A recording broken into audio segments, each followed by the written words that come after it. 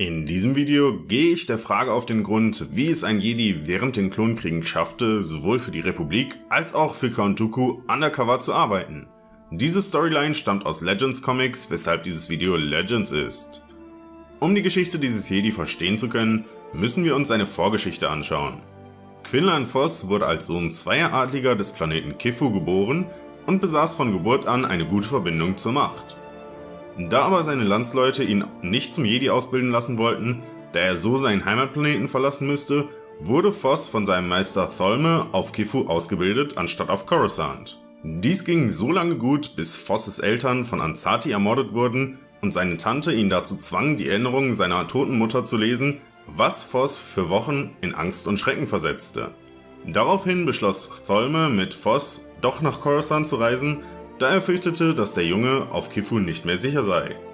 Dort trainierte er dann mit anderen Jünglingen wie Siri Tachi, Shaila und Obi-Wan Kenobi. Auch wenn er ab diesem Zeitpunkt mit den anderen Jünglingen trainierte, unterschied ihn einiges von den anderen, dadurch, dass er lange Zeit alleine unterrichtet worden war und dann die Erinnerung seiner toten Mutter selber miterleben musste.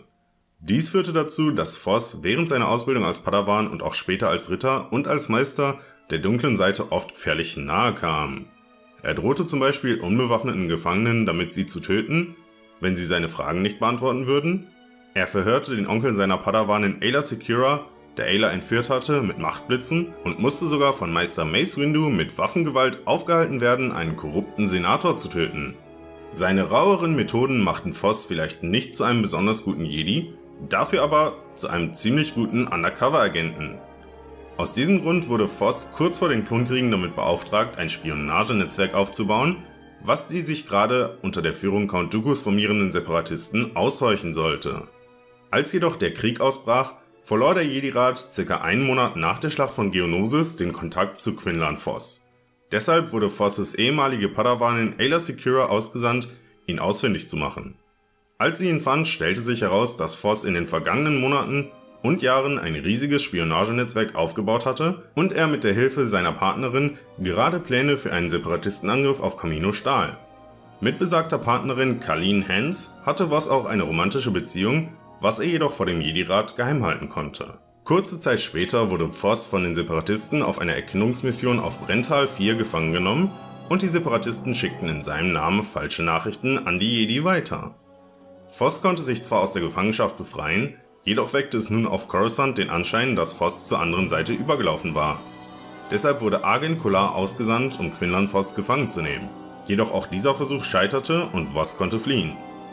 Dies spielte genau in die Hände von Jedi-Meister Yoda, Mace Windu, Tholme und Ki-Adi-Mundi, da sie Voss immer noch vertrauten, ihn aber somit als Feind der Republik erklären und seine Festnahme befehlen konnten. Dabei wussten nur die wenigsten Jedi, dass dieser Befehl zur Festnahme von Quinlan Voss nur eine Täuschung war und er in Wirklichkeit immer noch für die Jedi arbeitete. Diese Hintergrundgeschichte gab Voss jedoch die Möglichkeit, ein Treffen mit Count Dooku zu arrangieren, der schon vor den Klonkriegen damit angefangen hatte, eine Gruppe dunkler Jedi wie Asajj Ventress oder Savage Opress um sich zu versammeln. Voss bekam die Chance, sich in einem Duell gegen Dooku zu beweisen, und obwohl er dieses Duell verlor, spürte der Sith jedoch, wie stark die dunkle Seite in Voss brodelte, was ihn dazu veranlasste, Voss als seinen Schüler aufzunehmen. In vielen verschiedenen Missionen musste Voss durch grauenhafte Taten immer wieder beweisen, dass er sich wirklich der dunklen Seite hingegeben hatte, während er heimlich Informationen an den Rat der Jedi weiterleitete. Auf einer Mission nach Kifu wurde ihm zum Beispiel offenbart, dass seine Tante in Wirklichkeit die Ansati auf seine Eltern angesetzt hatte was Voss so in Rage versetzte, dass er seine Tante ermordete.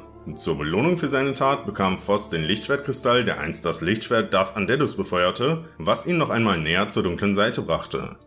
Dooku nutzte Voss für viele weitere Morde an Zielen, die Dooku hintergangen hatten, es aber für ihn selbst zu schwierig gewesen wäre, sie eigenhändig zu töten. In einem Fall ließ Dooku es sogar so aussehen, als ob das Ziel der zweite Sith neben Dooku sei was die Anstrengungen von Voss um ein Vielfaches erhöhte, da er darauf setzte, durch die Ermordung des anderen Sith Lords den Krieg schnell beenden zu können.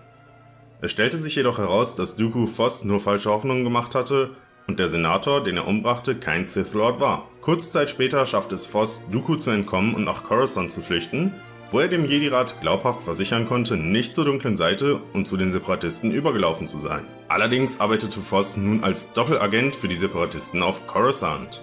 Er führte weiterhin Dookus Befehle aus, während er zugleich dem Jedi-Rat versicherte, nicht mehr für Dooku zu arbeiten und gleichzeitig versuchte er hinter Dookus Rücken den anderen Sith Lord ausfindig zu machen, um ihn zu töten.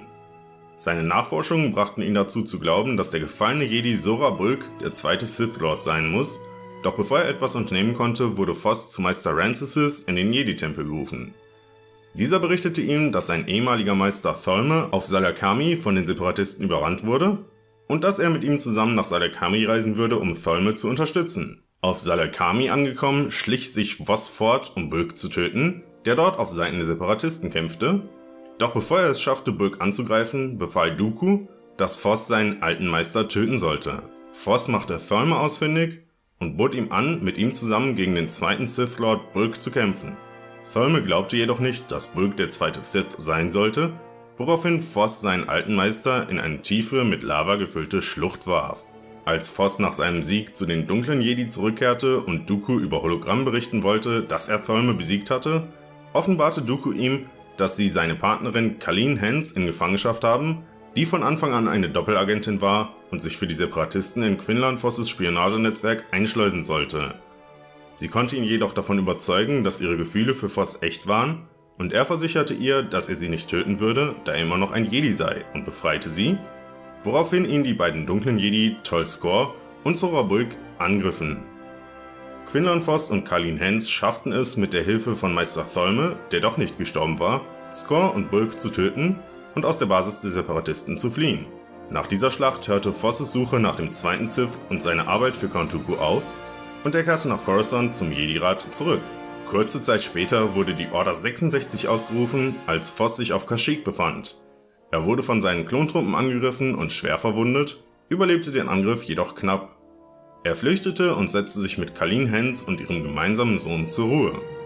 Es dauerte zwar noch eine lange Zeit, bis er die Dunkelheit, die die Zeit bei Dooku in ihm hervorgerufen hatte, kontrollieren konnte, er schaffte es jedoch, sowohl seine dunkle Seite als auch seine helle erfolgreich vor dem Imperium zu verbergen.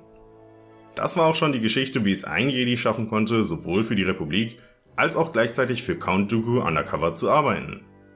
Was sagt ihr zu der Geschichte von Quinlan Voss? Schreibt es unten in die Kommentare. Wenn euch das Video gefallen hat, lasst mir ein Abo da und klickt auf die Glocke, damit ihr in Zukunft keins meiner Videos mehr verpasst. Und verpasst auf gar keinen Fall mein Video am nächsten Samstag, weil ihr in dem Video die Chance bekommen werdet, Star Wars Battlefront 2 zu gewinnen. Und wenn ihr sonst noch mehr von mir sehen wollt, schaut doch mal bei meinem anderen Kanal Nerdbasis vorbei. Da machen der Herr der Ringe Stories und ich jede Menge Videos zu Filmen, Serien und Videospielen. Ansonsten schaut mal in eins der beiden Videos rein, die ich euch gleich einblenden werde. Damit wünsche ich euch noch einen schönen Tag und möge die Macht mit euch sein.